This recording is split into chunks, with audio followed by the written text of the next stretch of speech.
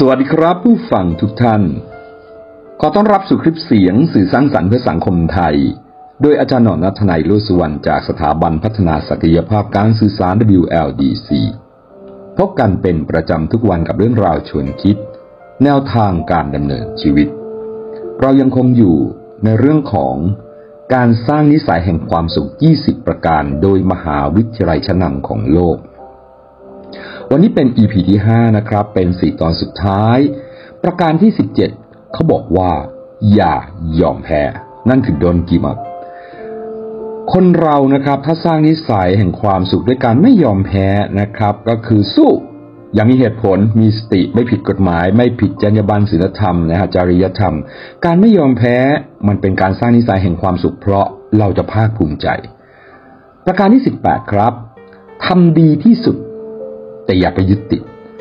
การดำเนินชีวิตคนเราเนี่ยเมื่อมีความสุขก็คือเขาจะทำในสิ่งที่เขาทำดีนะฮะมีความสุขมากๆเลย แต่ไปยึดติดนะฮะเพราะว่าบางคนถ้ายึดติดกลายเป็นอีโก้หลงตัวเอง อันนี้กลับกลายเป็นผลร้ายกับตัวตน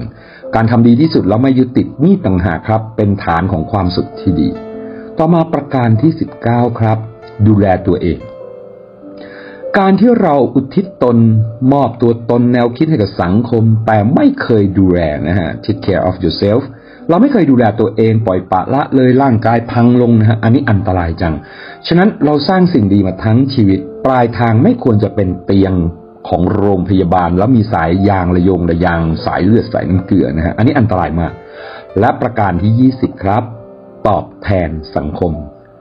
give back to society การที่เราตอบแทนสังคมนั้นถือว่าเป็นฐานของการเป็นผู้ให้ ตรงนะฮะตรงต่อหลักปฏิบัติของทุกศาสนานั่นก็คือการเป็นผู้ให้การเป็นคนดี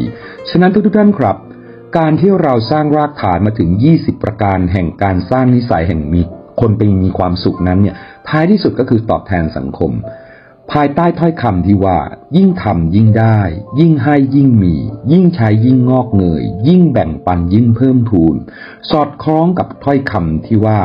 ความสุขมันอยู่ที่เราคิด ชีวิตมันอยู่ที่เราปั้น ความฝันมันอยู่ที่เราสร้าง ทุกสิ่งทุกอย่างมันอยู่ที่ตัวเราเอง และก็ตรงกับถ้อยคำที่บอกว่า การอยู่เพื่อตัวเองก็อยู่เพียงแค่สิ้นลม แต่ถ้าเราอยู่เพื่อสังคม เราจะอยู่คู่ฟ้าดินทุกท่านครับ หลักปฏิบัติ หลักการดำเนินชีวิต วิธีคิดสำคัญยิ่งนัก วันนี้ขอให้ทุกท่านมีแต่ความสุข สนุกกับการดำเนินชีวิต พบกันใหม่ในวันพรุ่งนี้ สำหรับวันนี้สวัสดีทุกๆทท่านครับ